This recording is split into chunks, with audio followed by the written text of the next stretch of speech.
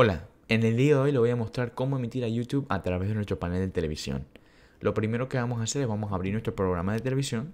En este caso estamos utilizando el OBS. Usted puede utilizar el Streamlabs, vMix, Wirecast, es todo el mismo proceso, solo necesita empezar a enviar la señal al servidor.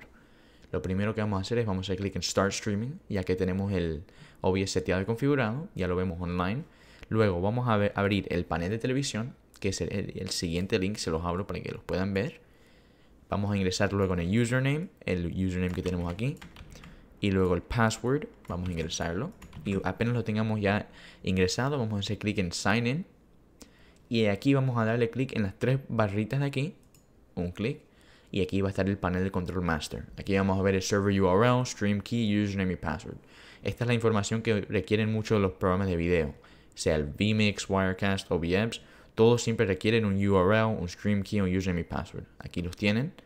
Luego, apenas vamos a hacer clic, necesitamos primero ver nuestra imagen apareciendo en el panel.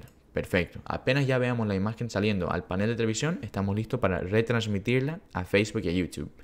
Vamos a hacerle clic en Stream Targets, Create New Stream Target, un clic en YouTube, vamos a dar un nombre, vamos a nombrarle prueba. Luego Save Stream Target y nos va a pedir un server URL y un stream name or key. Para agarrar esta información vamos a hacer clic aquí en YouTube Live Streaming Dashboard, un clic, nos va a llevar a nuestro perfil de YouTube. Y justo abajito aquí nos dice el stream URL. Vamos a darle un clic en copy, vamos a volver al panel de televisión y lo vamos a pegar aquí en server URL. Luego el stream name y key en el mismo lugar, justo arriba stream key, un clic en copy, vamos a darle paste y o pegar y luego apenas tengamos el server URL y stream name ya ingresado, un clic en Save para guardar la información y luego un clic en Reconnect. Ya en unos segundos se volverá a ver de la opción aquí. Perfecto, ya cuando esté online significa que ya está enviando la señal, el panel, a YouTube. Vamos a volver a la pantalla de YouTube. Vamos a darle un segundo y ya vemos nuestro... Aquí está. Ya ve nuestro stream y está online. Condición excelente. Todo depende de la calidad que tenga seteado. Y ya lo vemos al aire.